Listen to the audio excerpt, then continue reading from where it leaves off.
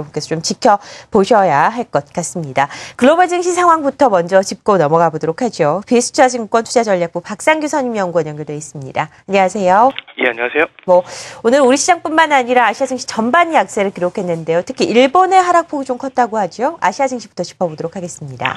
예, 말씀하신 것처럼 금일 아시아 증시는 공통적으로 미 테이퍼링 관련 우려에 따른 신흥국 금융시장 불안으로 어, 일제히 하락했습니다.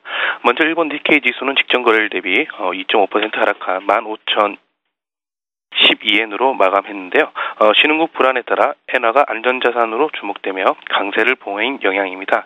엔달러율은 지난 금요일 102엔 수준까지 급락한 이후 금일도 102엔 수준 초반에서 머물고 있습니다.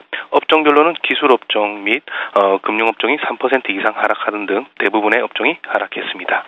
어, 중국 상해 종합 지수도 미 테이퍼링 우려를 반영해 한국 시간 오후 3시 20분을 기준으로 어, 직전 거래일 대비 0.9% 하락한 2,035포인트를 기록하고 있는데요. 어, 업종별로는 2% 1% 이상 상승하고 있는 기술 업종을 제외한 대부분의 업종이 하락하고 있습니다. 네.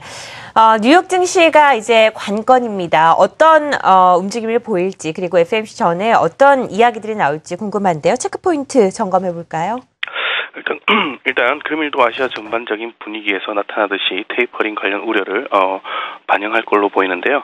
어, 관련해서 결국에는 이번 주 주목할 부분이 1월 FOMC 회의 결과로 볼 수 있을 것 같습니다.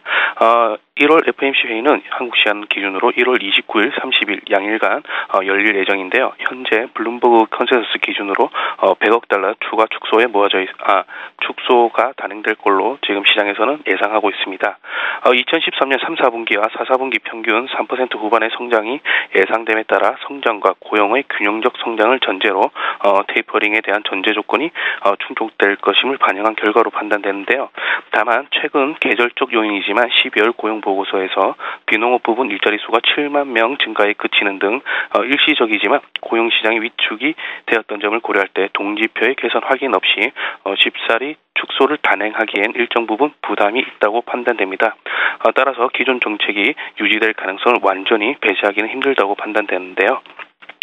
아, 앞서 말씀하신 것처럼 QE3 축소가 어, 신흥국 금융시장의 불안으로 연결되고 있습니다. QE3 축소가 미국 경기 개선에 더불어 지속적으로 진행될 것은 분명한 사실입니다. 그럼에도 불구하고 1월 축소 단행 가능성이 신흥국 경제에 부담이 되는 이유는 어, 선진국 수요 회복을 신흥국 경제가 반영하기도 전에 유동성 회수가 급격히 발생할 수도 있다는 우려감이 반영된 결과인데 결과가 있기 때문인데요. 어, 선진, 선진국 경기 개선에 신흥국 경기가 동조할 가능성이 크기 때문에 긴 호흡을 가지고 본다면 신흥국 금융시장의 불안감도 어, 일시적인 현상에 그칠 가능성이 크다고 판단을 하고 있습니다.